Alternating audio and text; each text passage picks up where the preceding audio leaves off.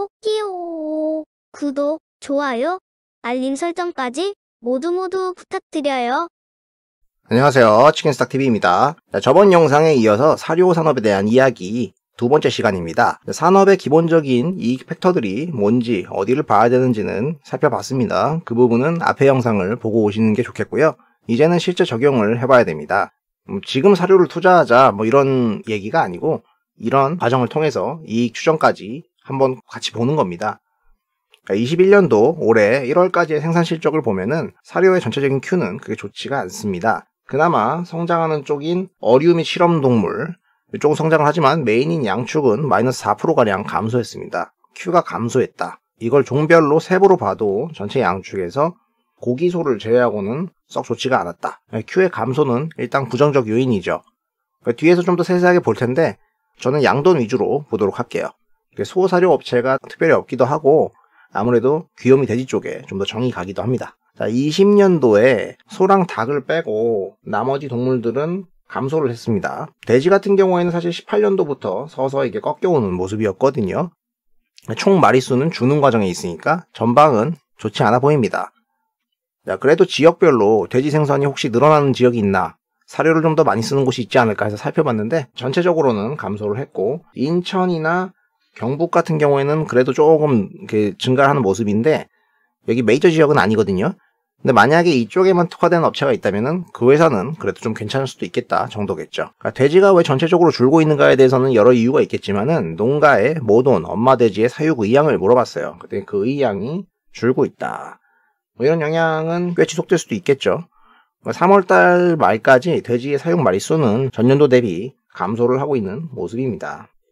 결국 21년도 예상은 전년도 대비 1.5% 정도 감소하고 평년 대비 0.6% 정도 감소하는 모습으로 가게 될 것 같습니다. 전반적인 국내 Q 요인은 뭐로 봐도 좋을 게 없다는 것은 확인을 한 겁니다. 다음은 C를 봅시다. 양돈 사료 하면 선진과 팜스코 얘네들의 사료 부분을 보면은 원재료에 메이백이 있어요. 선진은 여기 옥수수 외에 이렇게 나와 있고 팜스코 같은 경우에는 메이백에 16% 옥수수, 대두박이 8% 이렇게 나와 있네요. 각각의 원재료로 사용되는 주요 곡물들의 가격을 대략 이렇게 적어놨어요. 이 곡물들의 가격과 상황을 트래킹해야 될 겁니다. 자, 21년도 주요 국가들의 옥수수 소비량은 14%가량 증가할 걸로 생각을 하고 있어요. 뭐 생산은 서서히 늘려나가겠지만은 소비가 가파르게 오르기 때문에 전체적으로는 약간 쇼티지가 나는 모습으로 예상이 되고요. 밀은 그래도 조금 여유가 있는 모습입니다.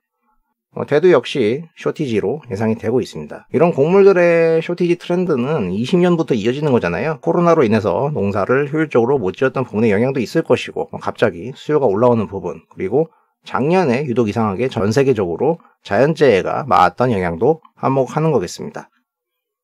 또한 돈을 너무 많이 풀어가지고 인플레가 생겼다는 설명도 있긴 하지만은 아무튼 최근에 옥수수와 대두박의 가격은 거의 단기간에 80%가량 상승해 버렸습니다. 근 5년간 가격이 거의 변동하지 않았는데 이건 엄청난 변화였다. 따라서 2월 달부터 수입 사료 원료 가격 지수는 우리나라의 우호적이었던 환율 상황을 감안하더라도 가파르게 상승하고 있는 모습이고요. 최근 원달러 환율이 한 1140원 정도 되는데 작년 대비 이제 부담으로 슬슬 작용할 거라는 것을 알 수가 있습니다. 자, 그러면 CEO는 안 좋아지는 건데 회사의 이익 방어를 위해서 가격 상승할 수 있는가? 이게 이슈겠죠. 피해, 변동, 가능성 봅시다. 어, 15년부터의 사료 가격을 갖고 와서 그 변화 트렌드를 보면은 가격은 거의 움직이지 않고 있습니다. 최근에는 오히려 조금 하락했어요. 전체적으로 방어는 이렇게 하는 모습이지만은 그대로 가는 모습이죠. 아무래도 이거는 근 5년간의 곡물가의 변동이 그다지 크지 않았던 영향도 있기는 있을 거예요. 양돈 사료 같은 경우 최근 1분기 기준으로 20년도 수준에 머물러 있거든요. 그러니까 곡물가 상승을 좀 전가시키고 싶을 거 아닙니까? 그래서 가격 상승에 대한 언플이 좀 있었는데 계속 중단하라, 시정하라 나오고 있어가지고 사실상 지금은 그렇게 인상이 쉽지 않을 수도 있겠습니다. 뭐 인상했다는 이야기도 일부 들리는데요.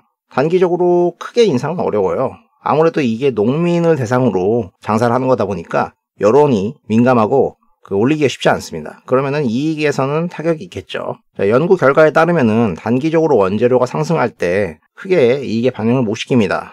반대로 떨어질 때는 조금 덜 반영을 시키거든요. 뭐 장기적으로 봤을 때는 어쨌든 고정적인 마진을 떼먹는 비즈니스이기 때문에 전가는 가능은 해요.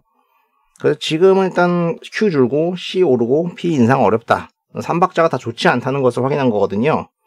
근데 이럴 때 이제 공부를 해두는 거죠. 그리고 나중에 이게 하나씩 하나씩 풀려가는 게 내 눈에 보이면은 이 구조를 이미 다 이해하고 있으니까 투자를 할 수 있다. 자, 실제로 찾아낸 팩트들을 기반으로 회사의 이익과 맞아 들어가는지 확인을 하는 최종 작업이 필요합니다.